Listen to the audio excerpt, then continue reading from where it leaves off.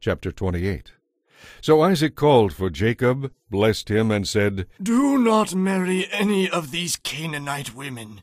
Instead, go at once to Padan Aram, to the house of your grandfather Bethuel, and marry one of your uncle Laban's daughters.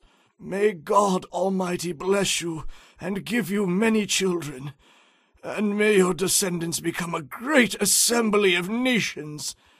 May God pass on to you and your descendants the blessings he promised to Abraham. May you own this land where we now are foreigners, for God gave it to Abraham.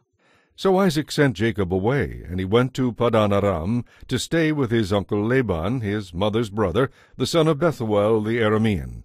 Esau heard that his father had blessed Jacob and sent him to Padan Aram to find a wife, and that he had warned Jacob not to marry a Canaanite woman. He also knew that Jacob had obeyed his parents and gone to Padan Aram. It was now very clear to Esau that his father despised the local Canaanite women. So he visited his uncle Ishmael's family and married one of Ishmael's daughters, in addition to the wives he already had. His new wife's name was Mahalath. She was the sister of Nebaioth and the daughter of Ishmael, Abraham's son. Meanwhile, Jacob left Beersheba and traveled toward Haran.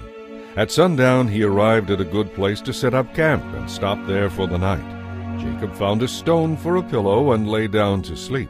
As he slept, he dreamed of a stairway that reached from earth to heaven, and he saw the angels of God going up and down on it. At the top of the stairway stood the Lord, and he said, I am the Lord, the God of your grandfather Abraham and the God of your father Isaac.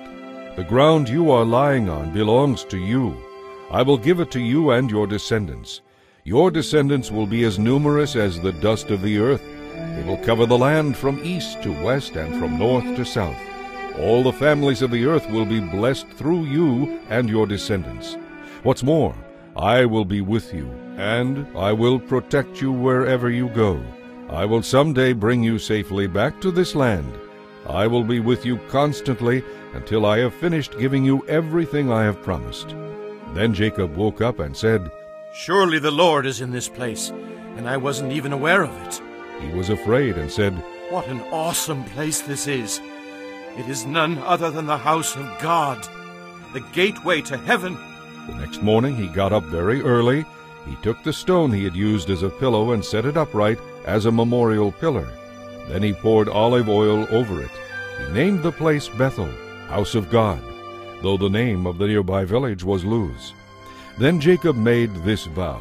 If God will be with me and protect me on this journey, and give me food and clothing, and if he will bring me back safely to my father, then I will make the Lord my God.